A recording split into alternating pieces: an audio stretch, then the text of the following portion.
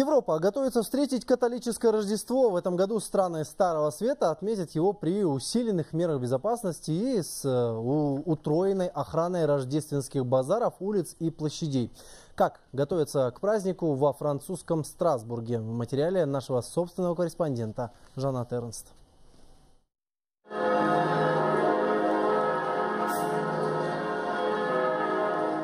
Страсбург поистине считается столицей европейского Рождества. Эльзасская рождественская ярмарка насчитывает около 500 лет своей истории.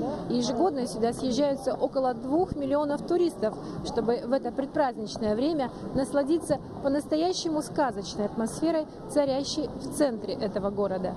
Oh, it's beautiful. This town is очень красивый город. Это настоящий бриллиант. Мы приехали сюда из Австралии, из Сиднея. Мы впервые в Страсбурге, и нам нравится все. И рождественское освещение, и красивые приятные люди. Сюда хочется вернуться. Моя семья тоже здесь. И здесь мы можем поверить в волшебство.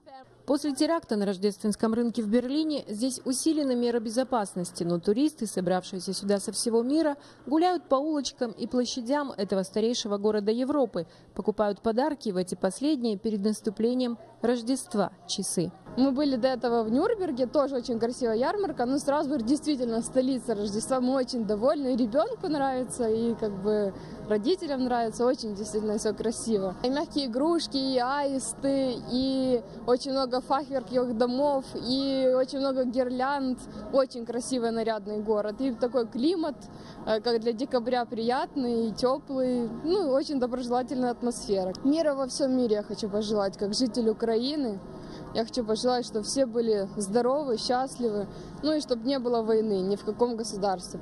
Мир и благополучие – это как раз то, что сейчас так необходимо для всех граждан Старого Света. Они с большим энтузиазмом встречают красивые новогодние праздники, несмотря на все тревоги и потери. Счастливого Рождества, Европа! Жанат Эрнеш, Жомарт Ахметов, Хабар 24, Франция, Страсбург.